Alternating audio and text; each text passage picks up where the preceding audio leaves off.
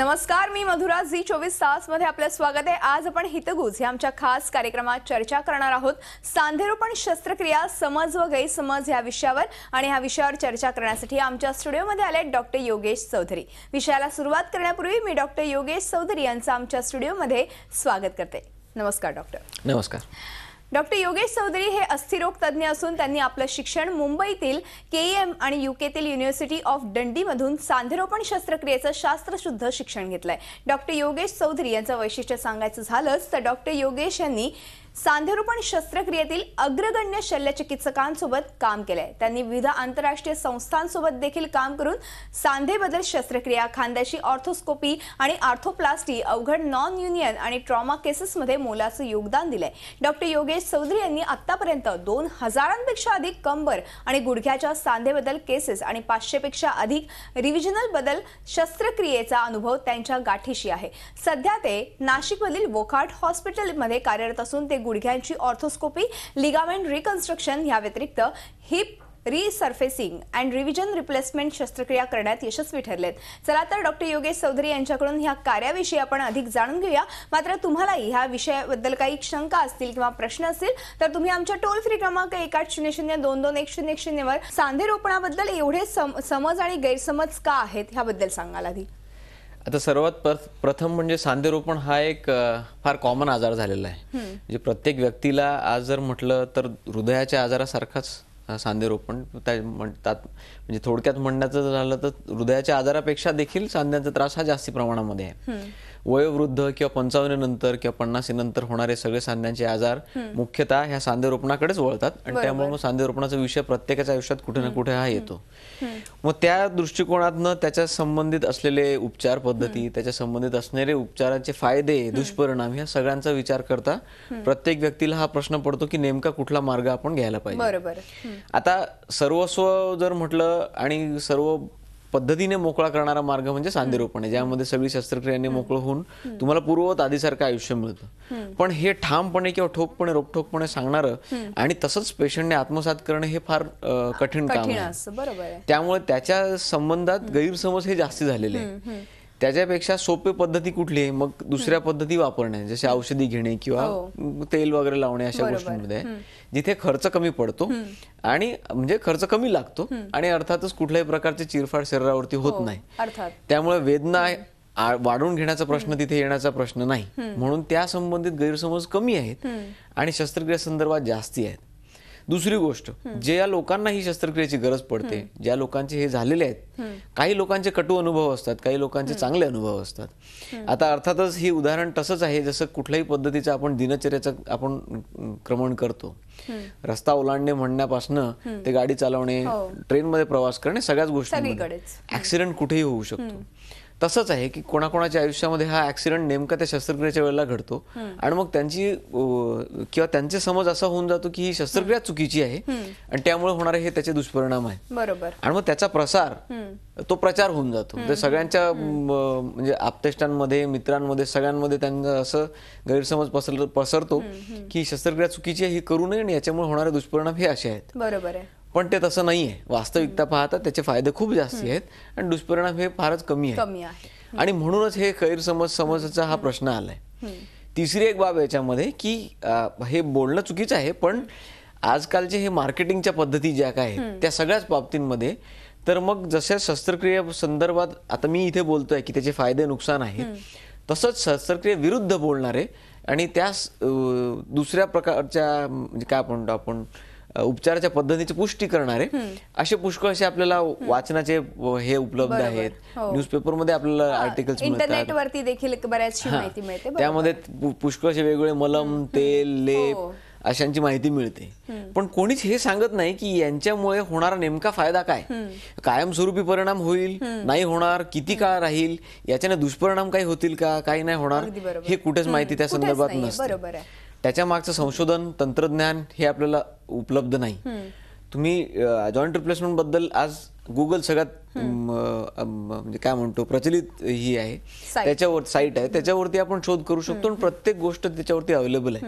म्हणजे याचे side effects पासनं म्हणजे दुष्परिणाम पासनं ड्रॉबॅक्स पासनं तर याच्या पॉझिटिव्ह इफेक्ट पर्यंत सगळं त्याच्यावरती अवेलेबल आहे. हिस्ट्री अवेलेबल आहे. शस्त्रक्रिया कुठल्या पद्धतीने होते हे आपल्याला दिसतं. त्यामुळे इथे लपवून ठेवण्यासारखं काही नाही. हे सायन्स आहे. नक्कीच. आणि म्हणूनच मी म्हणतो माझं आव्हान असं राहील की हे खरंच गैरसमज आहेत. ते दूर करून लोकांनी स्वतः काय म्हणतो अभ्यास करून स्टडी करून इतके माध्यम अवेलेबल आहेत स्वतःहून अभ्यास करण्यापेक्षा एखाद्या योग्य डॉक्टरचा सल्ला घेणं फार तज्ञाचा तर important आहे. कारण की तज्ञ तज्ञाला जेवढी माहिती असते तेवढी इंटरनेटवर देखील तुम्हाला माहिती उपलब्ध होणार नाही. कारण की ते प्रॅक्टिकली नॉलेज खरं तर तज्ञ. डॉक्टरांना मिळालेलं असतं. नक्कीच आपल्याला फोन कॉल्स यायला सुरुवात झाली पहिल्या फोन घेऊया. गुणवंत बोलतायत लातूरवरनं विचारा काय प्रश्न आहे. नमस्कार. हॅलो. बोला. हा मॅडम माझा ते गुडघेदुखीचा त्रास आहे. बरं. हा तर त्याच्यासाठी काय उपाय? किती वर्ष झाले तुम्हाला त्रास आहे? आणि तुमचं वय किती आहे? अं, माझं वय मॅडम सत्तावीस वर्ष आहे. सत्तावीस? हा. बरं. काय तुम्ही बाईक वगैरे जास्त चालवता का? काय खेळता वगैरे? ह्यामुळे त्रास होतोय? ऑटो रिक्षा चालवतो मॅडम मी. काय चालवताय ऑटो रिक्षा ऑटो रिक्षा बरं. दोन्ही गुडघ्यांमध्ये तुम्हाला त्रास होतोय? उजव्या गुडघ्यामध्ये त्रास होतो बरं. पण मग तुम्ही चेकअप केलंय का इतर कुठल्या डॉक्टरकडे हा केलंय मॅडम. लोकल डॉक्टरकडे चकल गेला लातूर बरं. एक्सरे वगैरे काढलाय? हा बरं ठीक आहे. डॉक्टर खरं तर वय वर्ष फक्त सत्तावीस आहे. पण मगाशी तुम्ही म्हणालात की अति बाईक वगैरे चालवणं ह्याच्यामुळे देखील गुडघ्यांची झीज होत असते आणि ते ऑटो रिक्षा चालवतात. आणि वय वर्ष सत्तावीस आहे. तर त्यांनी काय उपचार घेतले पाहिजे ह्याबद्दल सांगाल? आता पहिली गोष्ट सत्तावीसव्या वयामध्ये हे साधारणतः सांध्याचा आजार कुठल्याही अशा अशा कारणाने किंवा अभावामुळे नको व्हायला. किंवा आपण म्हणतो की सांध्याची झीज तर शक्यच नाही ह्या वयामध्ये. त्यांना आजार कुठल्या तर वाताच्या प्रकारचा असण्यास असल्यास हा त्रास होतो. किंवा मग काही घटक घटकांची कमी असली शरीरामध्ये ज्यामुळे गुडघ्याच्या आतमधलं आवरण तात्पुरतं नरम होतं. आणि त्यामुळे होणाऱ्या वेदना हे जाणवू शकतात व्यक्तीला. तर कामाचे प्रकार कुठलेही असो सडन चेंज ऑफ वर्क म्हणजे कामाच्या पद्धती समजा बदलली एक तूर्त दोन तीन महिन्याच्या काळामध्ये खूप जास्ती प्रमाणामध्ये शरीरावरती ताण असेल मानसिक ताण असेल किंवा अशा पद्धतीमध्ये न्यूट्रिशनल डेफिशियन्सी म्हणजे आपण म्हणतो आपण खाण्यापिण्याच्या पद्धतीमध्ये. घटकांची कमी असली ह्या सगळ्यांचं चित्र जर एकत्र आलं तर मग अशा प्रकारचा त्रास हा होऊ शकतो. अथवा कधी त्यांना पडलेले असेल रिक्षामधनं कधी गुडघ्यामधनं काही इजा झालेली असेल आधी मार लागलेला असेल दोन तीन वर्षापूर्वी किंवा लहानपणी आपण पुष्कळसे खेळ असे खेळतो त्याच्यामुळे झालेले इजा ते ह्या वयामध्ये तरुण वयामध्ये त्रास देऊ शकतात. तर अशा प्रकारच्या ह्या पद्धतींमधनं त्यांची उद्भवणारी ही स्थिती आहे. यांना निश्चित रूपाने आजार दूर करण्यासाठी व्यायामाची काही पद्धती राहते जी विशिष्ट कुठल्याही ऑर्थोपेडिक सर्जन किंवा तज्ञाकडनं ते लोक ते शिकून घेऊ शकते. शकतात. आणि तसं करू शकतात. काही उठण्या बसण्याचे पथ्य असतात काही काळासाठी. आणि त्याच्याने निश्चित रूपाने त्यांना फरक हा पडतो. औषधींचा थोडाफार त्याच्यामध्ये रोल असतो मदत असते. आणि ती औषधी त्यांना काही काळ वापरावी लागते. पण शस्त्रक्रिया कुठल्याही दृष्टिकोनातनं मला नाही वाटत आवश्यक आहे. आणि निश्चित रूपाने व्यायामाने फरक पडायला पाहिजे. नक्कीच. म्हणजे व्यायाम आणि आहार योग्य आहार विटॅमिन्स तुम्ही मग- मगाशी म्हणालात एक व्यवस्थित आहार जर असेल तर नक्कीच डेफिशियन्सी कुठल्याही विटॅमिनची असेल तर ती नक्कीच भरून निघू शकेल. आणि अर्थातच एका तज्ज्ञाचा त्यांनी देखील सल्ला घेणं आवश्यक आहे. नक्कीच अजून एक आपल्याला फोन आलेला आहे. फोन घेऊया. शैलेश खंडारे बोलतायत. अकोल्यावरनं विचारा काय प्रश्न आहे. नमस्कार. हा नमस्कार डॉक्टर साहेब. नमस्कार बोला. हा मी अकोल्यावरून शैलेश खंडारे बोलतो. हं. माझं वय सत्तेचाळीस आहे. पाच वर्षापूर्वी माझं स्वाडा इक्वा सिंड्रोमचं ऑपरेशन झालं. तेव्हा माझं लघवी आणि संडासचं सेन्सेशन गेलं होतं. लघवीचं सेन्सेशन आलं पण संडासचं सेन्सेशन आलं नाही. लघवी करताना संडास पास होते. अजूनही कपड्याचं संडास होते. संडासचं मुळीच सेन्सेशन नाही. दोन दोन तीन तीन दिवस संडास होत नाही आणि सकाळी नॉर्मल माणसासारखी उठल्याबरोबर संडास होत नाही. दुपारनंतर केव्हा तरी संडास होते. तर माझं हे संडासचा प्रॉब्लेम सेन्सेशन आणि नियमित संडास होण्यासाठी उपाय काय? डॉक्टरांना ॲलो ज्या डॉक्टरांकडे ऑपरेशन केलं ते म्हणतात की ॲलोपॅथीमध्ये याचं औषधोपचार नाही. तर माझं संडासचं सेन्सेशन कसं येईल आणि रेग्युलर संडास कशी होईल? नक्कीच नक्कीच. खरं तर डॉक्टर आपला आजचा विषय नाहीये पण जर तुम्हाला ह्याबद्दल काही माहिती असेल तर नक्कीच त्यांना सजेशन द्याल. मी तज्ज्ञ यातला नाही कारण तज्ज्ञानेच ऍक्च्युली याच्यावरती बोलावं. पण हे जे प्रकारचा त्रास आहे हा म्हणजे की नसांची संवेदना जर जास्ती प्रमाणामध्ये खराब झाली मणक्याच्या मागे नसेचा दबाव झाल्या कारणाने आणि त्याच्यामुळे मग होणारे हे लॉस ऑफ सेन्सेशन म्हणजे त्याच्यानंतर आपल्याला सेन्सेशन घालवून जातो. पायामध्ये अधूपणा किंवा पॅरालिसिस म्हणतो आपण. हा. तशातलाच प्रकार असतो आणि त्याच्यामुळे होणारा हा प्रॉब्लेम आहे. पण याला रिकवर करण्याची पद्धती कुठली नाहीये. म्हणजे हे एक चांगलं उदाहरण आहे त्यांच्या दृष्टिकोनातनं ज्यांना मणक्यांचा आजार आहे की जर मणक्यांचा आजार असेल तर त्याला विलंब केल्यास पुढे जाऊन असं पॅरालिसिसचे प्रश्न येतात जे पुन्हा रिव्हर्स नाही करता येत. बरोबर. आणि हे म्हणजे प्रत्येक सांध्याच्या दृष्टिकोनातनं पण आहे की एका स्टेजच्या पलीकडे गेल्यानंतर त्याला पूर्ववत करणं शक्य नाही शक्य नाही. तर त्यांच्या उपचाराबद्दल तर मी काही विशेष सांगू शकत नाही कारण मी त्यातला तज्ज्ञ नाही. पण एवढंच सांगू शकतो की हे वेळेत केलं गेलं असतं तर डेफिनेटली फरक पडला असता नक्कीच. पण मग त्यांनी आता जर उपचार घेतले कुठल्या हॉस्पिटलमध्ये मोठ्या हॉस्पिटलमध्ये तर फरक पडू शकेल का? शक्यता कमी आहे. शक्यता कमी आहे. आपण चर्चा करतोय सांधेरोपण शस्त्रक्रिया समज आणि गैरसमज या विषयावर. आणि आपल्याला मार्गदर्शन करतायत डॉक्टर योगेश चौधरी. मी पुन्हा एकदा चर्चेकडे वळते. डॉक्टर मगाशी आपण खरं तर ह्या शस्त्रक्रियांबद्दलचे समज गैरसमज जाणून घेतले. मात्र ह्या शस्त्रक्रियांव्यतिरिक्त औषधोपचार देखील आहेत. मग त्या शस्त्रक्रियांव्यतिरिक्त जर औषधोपचार घेतले तर त्या व्यक्तीला आराम पडू शकत नाही का? हा देखील एक प्रेक्षकांच्याच खरं तर मनातला प्रश्न आहे. तर तुम्ही काय सांगाल? आराम पडू शकत नाही अशातला भाग नाही. आराम पडतो पण कायमस्वरूपी नाही. बरोबर. म्हणजे त्या प्रत्येकाने हा प्रश्न स्वतःलाच विचारावा की मला आजाराचं निर्मूलन समूळता करायचं आहे की काही काळासाठी करायचं आहे. औषधींचा वापर हा प्रत्येकाला माहिती आहे की औषधींनी फायदा होणार आहे पण काही काळापुरताच. आणि त्यानंतर ते होणार नाही. आता जसं ॲलोपॅथीच्या दृष्टिकोनातनं प्रत्येक तज्ज्ञ प्रत्येक डॉक्टर त्यांना सांगेल किंवा रुग्णाला सांगतो की ही औषधी पेन किलरच आहे. ही मोजकीच वापरावी आणि एका काळानंतर तुम्ही वापरू नये. त्यामुळे मग त्या त्या काळानंतर रुग्णांची किंवा लोकांची मानसिकता अशी होती की प्रत्येक डॉक्टर हाच सांगतो. आणि मग ते एक डॉक्टर बदलून दुसरीकडे तिसरा असं करत करत पाच सहा बदलल्यानंतर पुष्कळशा व्यक्तींना रुग्णांना त्या औषधीबद्दलच माहिती होऊन जाते. ते मेडिकल वरती जाऊन म्हणजे मेडिकल स्टोअर वरती जाऊन ती औषधी घेऊन हो. तसा वापर करत असतात. पण या दरम्यान होणारी सांध्यांची झीज ही चालूच राहते. शरीराची होणारी झीज त्या औषधीमुळे ती पण चालू राहते. आणि त्यामुळे ते लक्षात घेतलं जात नाही.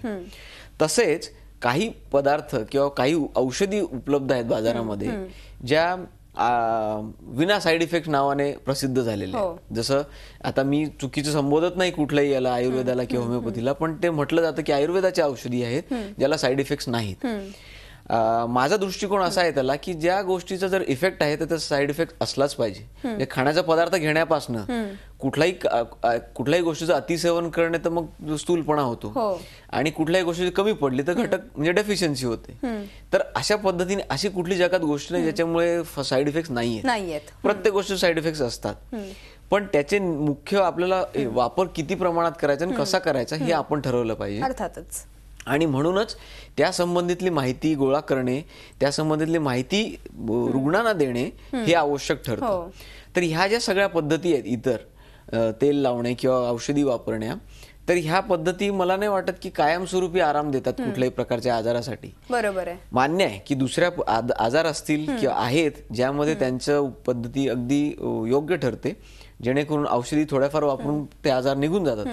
पण सांध्यांचे आजार असे नाहीत निश्चित ज्याच्यामध्ये की हे औषधी वापरून त्यांना कायमस्वरूपी नक्कीच. आणि सतत वापर होत असतो खरं तर ह्या सांध्यांचा. आणि अर्थात जसं तुमची तुमचं वय वाढतं तशी झीज देखील होत राहते सांध्यांची. आणि अर्थातच तुम्ही मगाशी सांगितलं की ऑपरेशन हे कायमस्वरूपी खरं तर उपचार आहे पण अं, बऱ्याचदा असं होतं की लोकांमध्ये असं समज आहे की नाही माझं तेल मॉलिश करून किंवा इतर काही लेप लावून देखील हे सांधेदुखी जी आहे ती कमी होते तर का मी ऑपरेशन कडे वळू किंवा मी का ऑपरेशन करू? म्हणजे अगदी भरपूर गॅप जरी असली गुडघ्यामध्ये तरी देखील ते फक्त आणि फक्त हे लेप आणि मॉलिश ह्याच्यावरतीच का अवलंबून असतात?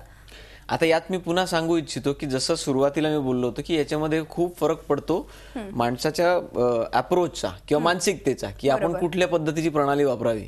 शस्त्रक्रिया तर कोणालाही आवडत नाही किंवा त्याच्यामध्ये संदर्भात दुखणे वेदना सगळं सोबत असतं. खर्च असतो. हो.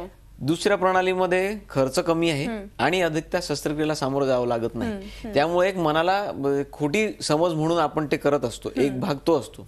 दुसरं मी जसं बोललो होतो मार्केटिंगचा प्रभाव. आज जर किती म्हटलं आपण तर शस्त्रक्रियेचा मार्केटिंगचा प्रभाव कमी पडतो. जेव्हा की ह्या बाकीच्या गोष्टींचा मार्केटिंगचा प्रभाव खूप जास्ती प्रमाणामध्ये आहे. तेलाच्या होण्यामुळे फायदा किती आहेत लावण्याचे फायदा किती हा आहेत हे फार महत्त्वाचा मुद्दा आहे. कारण की फायदा कितपत येतो? हा नुकसान कितपत होतं हे पण कुठे नाहीये. तिसरी गोष्ट या मागे होणारं संशोधन. आता एका बाजूला सायन्स आहे म्हणजे विज्ञान आहे आणि एका बाजूला हे काही गोष्ट ज्याच्यामध्ये विज्ञान किंवा संशोधन इतक्या प्रमाणामध्ये नाही झालेलं आहे. झालेलं असेल तर मग समोर दिसायला पाहिजे आपल्याला. पण ते दिसत नाही. त्याचे रिझल्ट पण तेवढे प्रॉमिसिंग नाही. बरोबर आहे. त्यामुळे काय समज असते की हे तेल लावून लावून लावून चोळून सांध्यामधलं तेल जे संपले त्याच्यामध्ये तेल जावं. पण असं कधीच होऊ शकत नाही. आपल्याला म्हणजे अशा कुठल्या पद्धतीने शरीरामध्ये तेलाची एंट्री होऊ शकत नाही जिथे काही माध्यमच नाहीये त्याला. तर ही चुकीचे समज आहे.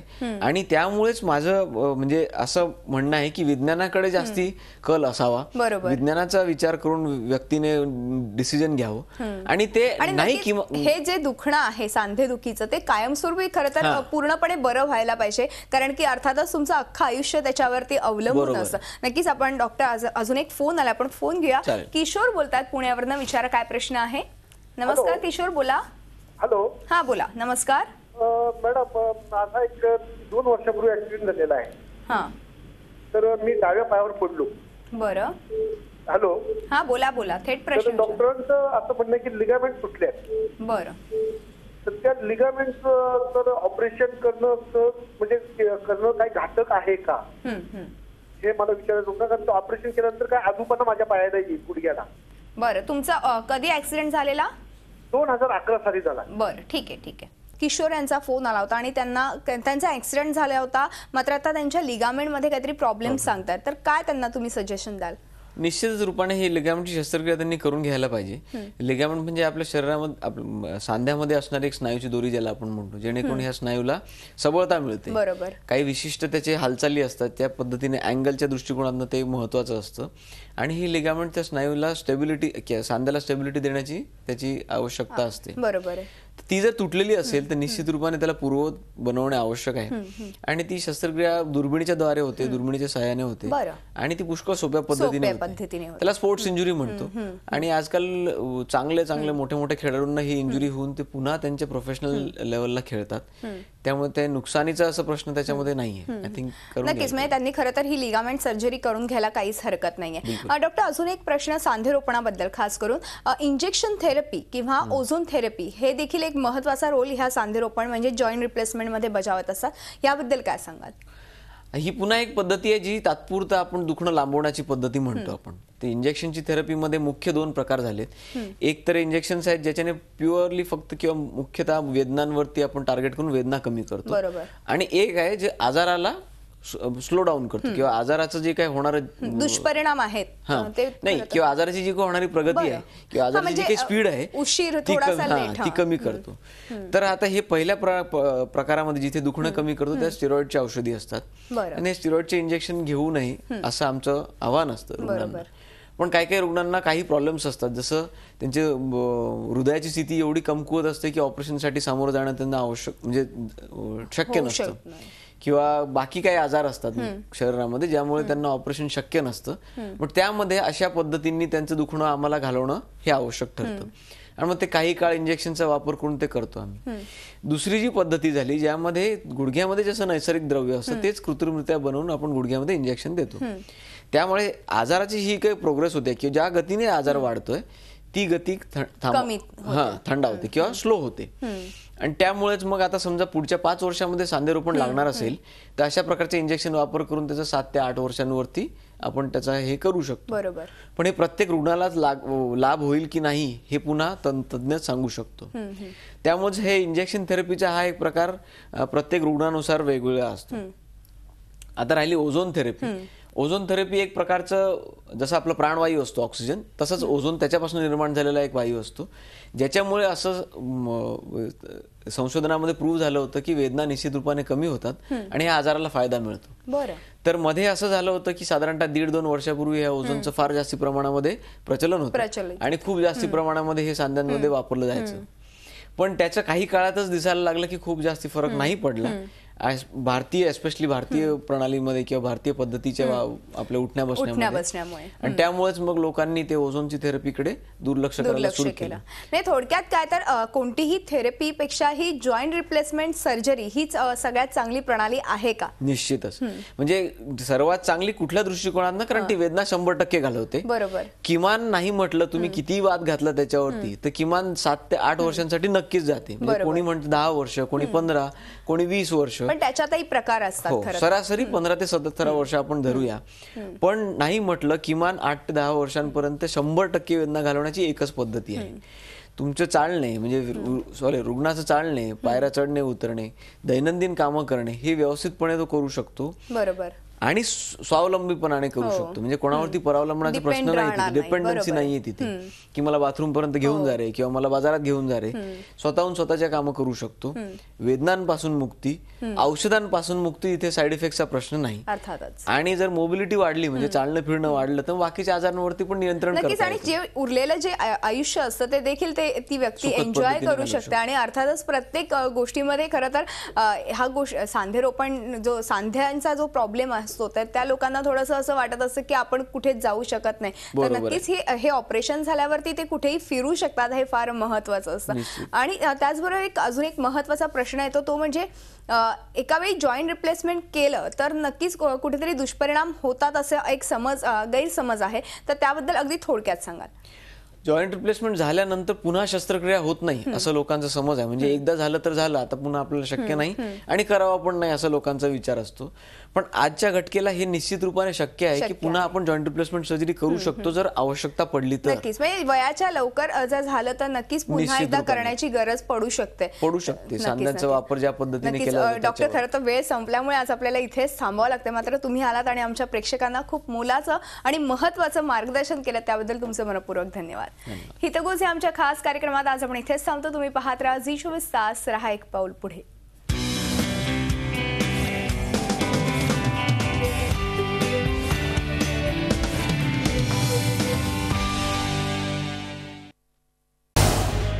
झी चोवीस तास रहा एक पाऊल पुढे.